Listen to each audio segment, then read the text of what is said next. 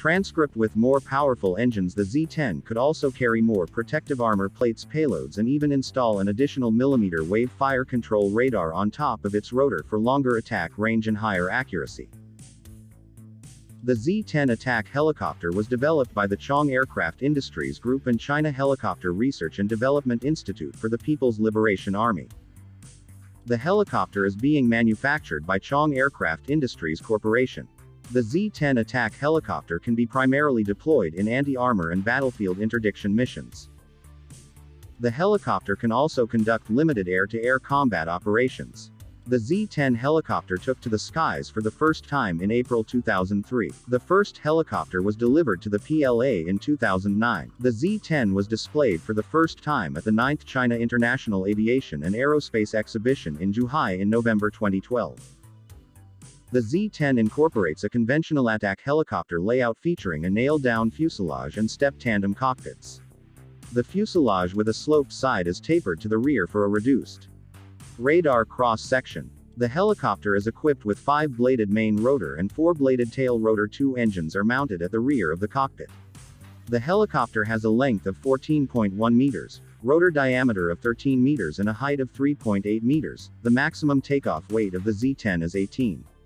The electronic countermeasures suite of the Z-10 integrates a radar warning receiver a laser warning receiver, an infrared jammer and chaff flare decoy launching system The modular design also adapts the latest systems replacing the existing jamming and decoy launching systems. The Z10 is powered by two Pratt and Whitney Canada PT6C67C turboshaft engines.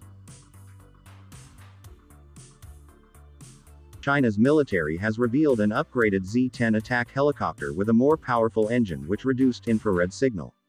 The Z-10 was recently used in a Chinese multi-domain amphibious assault drill wherein the land-based helicopters landed on and conducted missions from the deck of a Chinese Type 071 amphibious assault ship.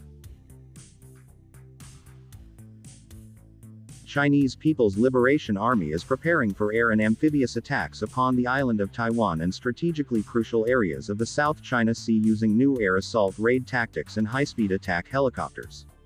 The preparations which included a number of Chinese Z-10 attack helicopters and Mi-171 transport helicopters involved over-the-sea transport and landing exercises in the sea region south of East China's Fujian province Z-10 attack helicopters and Mi-171 transport helicopters skimmed over the sea in formations to break up defense positions as they fast maneuvered to an unknown island on the high seas. At least one Z-10 attack helicopter featured in the drills is the latest upgraded variant with upward-facing exhaust openings which are expected to reduce the chopper's infrared signals and make it harder to target.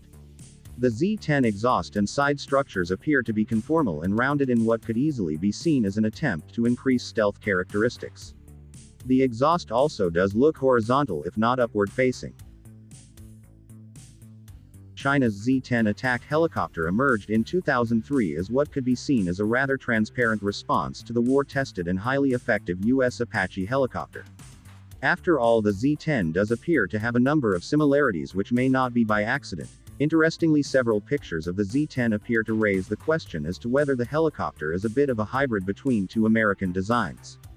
The Z-10 resembles both the Apache helicopter and Bell's new stealthy-looking Invictus Future attack reconnaissance aircraft now being developed as part of the Army's Future Vertical Lift program.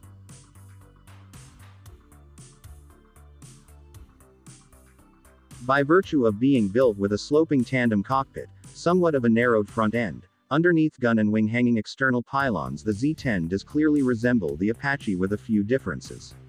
The Apache while a highly cherished and successful helicopter slated to fly for decades to come, was not designed as a stealthy platform, the top of its fuselage is rectangular and much more angled than Invictus. Developing this thought a little further, it does not seem surprising that the Global Times report would quote an analyst describing the Z-10 as possibly having somewhat stealthy characteristics. What all of this may amount to is that yes, the Z-10 does look like an Apache ripoff in many key respects, while also seeming to reveal several initial steps toward engineering a stealthier helicopter. The latest Z-10 seconds engine has its exhaust openings facing upward instead of outward like the early model, with the exhaust from engines, pointed upward instead of outward can lower the helicopter's infrared signal and weapons like infrared guided missiles will less likely lock onto the helicopter. However this design will increase drag force raising the power requirement for the helicopter's engines, this explains that the engine is more powerful and taken from the export version of the Z-10. The Z-10ME also featured this design. Chinese state-owned media have revealed more details about an upgraded variant of the Z-10 attack helicopter in service with the People's Liberation Army Ground Force.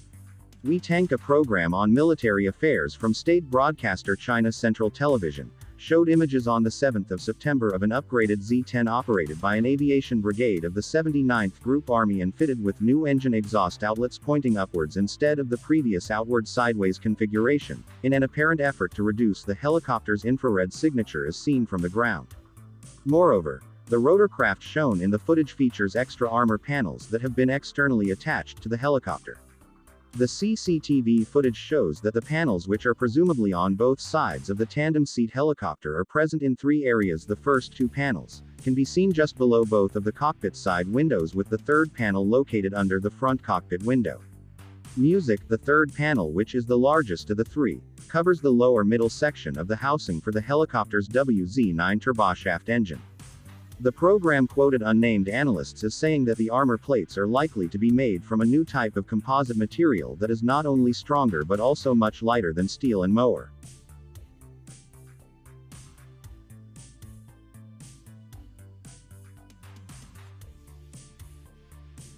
Weikan said the upgraded version is also equipped with a new identification friend or foe system and a new antenna for the Beidou satellite navigation system, to help ensure its combat capability in a complex electromagnetic environment.